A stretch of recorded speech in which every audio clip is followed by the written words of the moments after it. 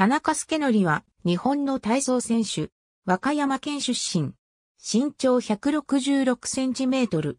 体重58キログラム。順天堂大学出身、コナミスポーツクラブ所属。姉の田中理恵、兄の田中和人も同じ体操選手である。得意種目は鉄棒。体操一家の末っ子として7歳で体操を始める。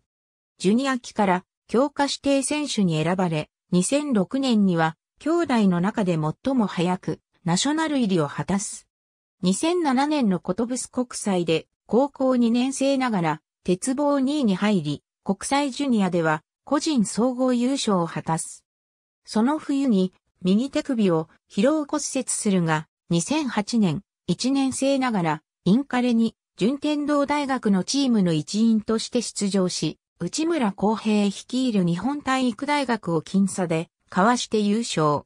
2011年、世界選手権の初代表、初出場を果たす。団体総合最終種目の鉄棒で落下し、日本が金メダルを逃す一員となってしまった。2012年ロンドンオリンピックの代表に選出される。ロンドンでは予選の鉄棒で落下するミスを犯すも、団体総合の本番では鉄棒で16点という高得点をマーク、チームの銀メダル獲得に貢献した。個人では、種目別平行棒の決勝に予選1位の成績で進出8位入賞を果たした。綾野国功労賞を受賞。2014年の世界選手権では個人総合で銅メダル、団体総合で銀メダルを獲得した。2015年の世界選手権ではそこまでトップで迎えた団体総合の最終種目、鉄棒で落下するも、僅差でイギリスを上回り金メダルを獲得した。